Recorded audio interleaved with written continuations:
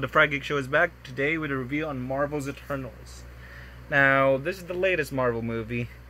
Well, Spider-Man No Way Home is coming up next week, but this is the latest Marvel movie. Marvel's Eternals, directed by Chloe Zhao, who just won an Oscar for Nomadland, and she she's also the first full like okay, Captain Marvel had a female director, but it's co-directed by a man, but she she's Zhao is also the head writer of the Eternals. So there are a lot of expectations because, first of all, she's a critically acclaimed director and she's directing a Marvel movie.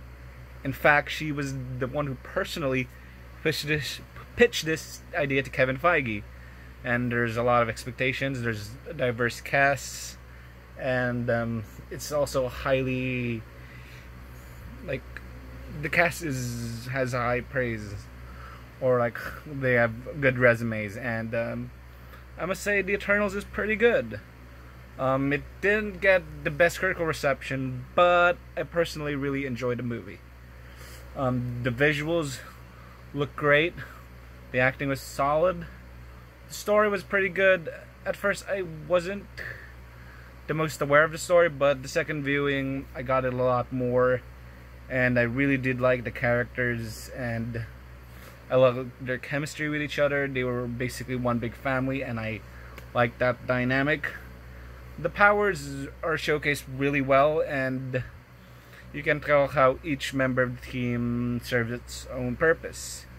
Because, yeah, like say Ikaris is powerful, but you can't really have the complete roster without Sersi or Gilgamesh or Druig and um, I like that. I like how they're like obviously the powerhouses are Ikaris, Gilgamesh, Kingo, Makkari, Thena, and we have the more like who use their minds like Phastos, um, Sprite,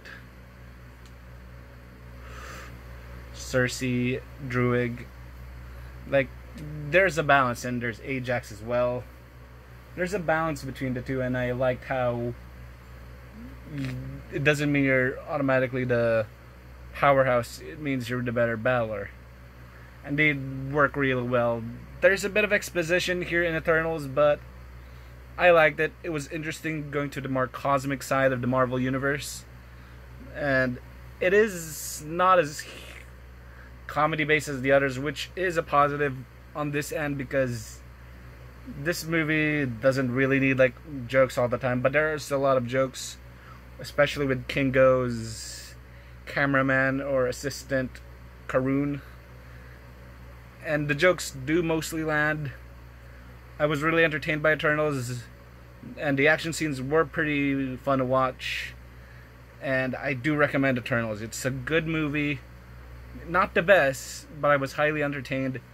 And I'm glad to be able to see movies in the cinema again. And it was Onward was the last one I watched, and uh, yeah, I really missed it. So yeah, so yeah, I recommend The Eternals. And this is going on Disney Plus January 10th, so you would most people would be able to watch it by then. So that was The Eternals. What do you think about it? If you do like this video, like, comment, subscribe. And next time the Frag Show, we might be taking a look at the Guardians of the Galaxy game. So see you guys then.